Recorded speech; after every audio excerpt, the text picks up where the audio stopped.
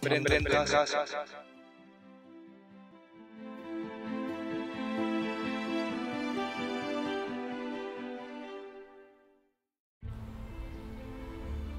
En este siguiente vídeo nos vamos a centrar en la influencia de la ilustración en Europa.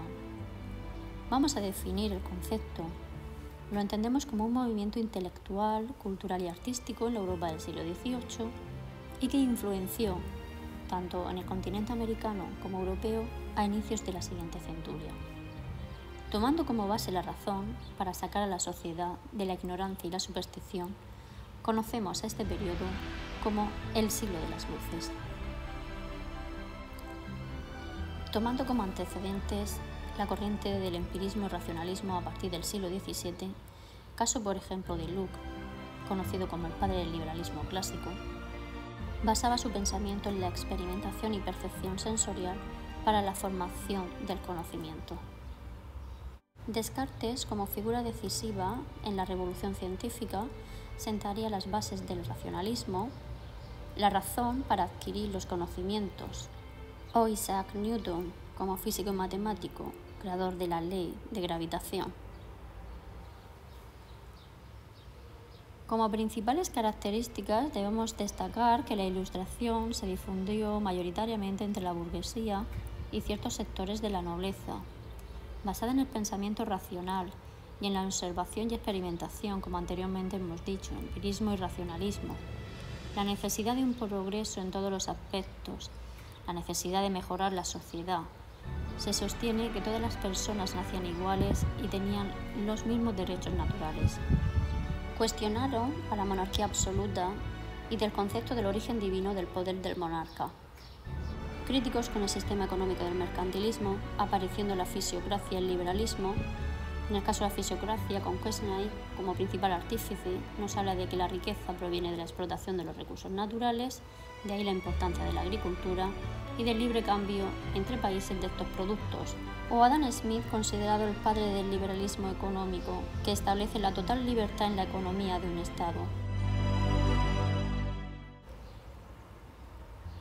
No podemos separar la ilustración del concepto de antiguo régimen, ya que el pensamiento ilustrado influenció también en las monarquías absolutas. De ahí que nos aparezca el concepto que nosotros conocemos como despotismo ilustrado. Como baluartes de este concepto en el que combinamos absolutismo e ilustración, podemos destacar el caso español de Carlos III, Luis XVI de Francia, Federico II de Prusia, María Teresa I de Austria o Catalina II de Rusia.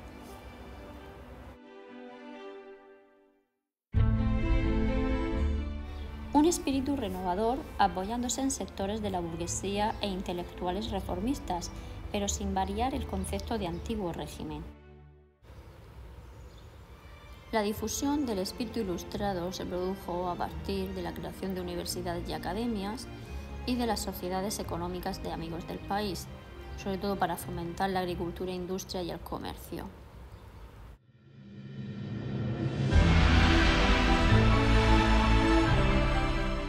Con el despotismo ilustrado, los reyes justifican su poder ya no por términos religiosos, sino en la razón. El rey mantiene su poder absoluto, pero llevando a cabo ciertas reformas para generar progreso y felicidad en sus súbditos, lo que conocemos como todo para el pueblo, pero sin el pueblo. No se modifica, por lo tanto, ni las bases sociales ni políticas. En este apartado vamos a hacer referencia a ciertas figuras destacables de la ilustración en Europa. En el caso, por ejemplo, de Diderot, escritor y filósofo, que junto con D'Alembert, filósofo y también matemático, fueron los creadores y difusores de la enciclopedia.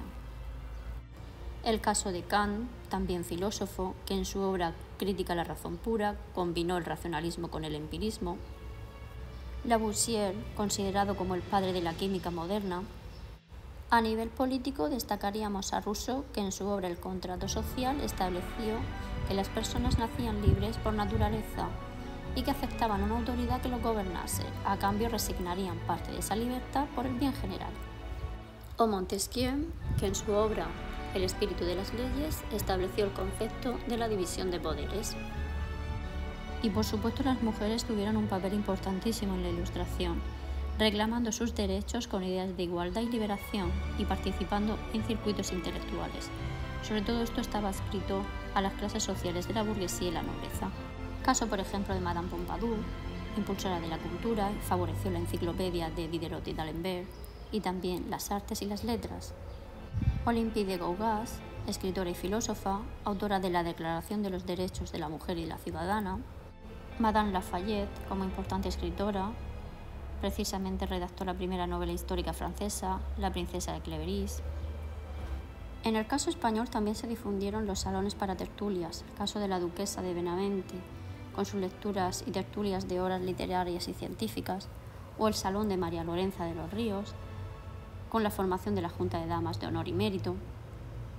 También voces masculinas se alzaron a favor de lo femenino, caso del padre Feijó, que defendió la capacidad intelectual de las mujeres, cuestionando el concepto tradicional de la inferioridad femenina. Y para finalizar el vídeo, vamos a centrarnos en la influencia de la ilustración, como hemos destacado anteriormente con ciertos pensadores, supuso un importantísimo avance científico, influyó en la Revolución Francesa y posteriormente en las revoluciones burguesas del siglo XIX, la aparición del propio concepto de despotismo ilustrado, que se desarrollará en Europa combinando absolutismo e ilustración, cuestionaron incluso el poder vigente con la difusión de ideas de igualdad ante la ley, que influyó del mismo modo en el proceso de independencia, caso de las colonias americanas.